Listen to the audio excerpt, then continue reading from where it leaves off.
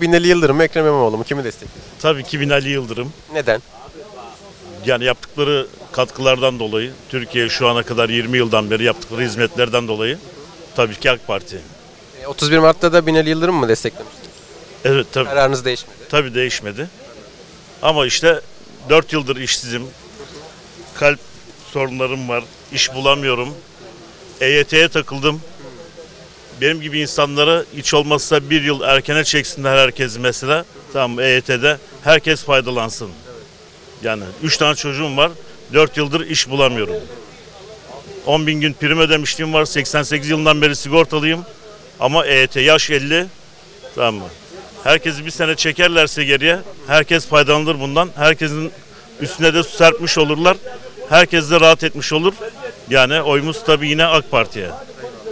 Teşekkür ediyoruz. İlaçlarımı da göstereyim burada. Kolesterol ilacı, kalp rahatsızıyım. İş bulamıyorum. Benim gibilere özellikle bir yılı erken alsalar mesela herkes faydalanır. Herkesin üstüne de su serpilir. Herkes de rahatlar.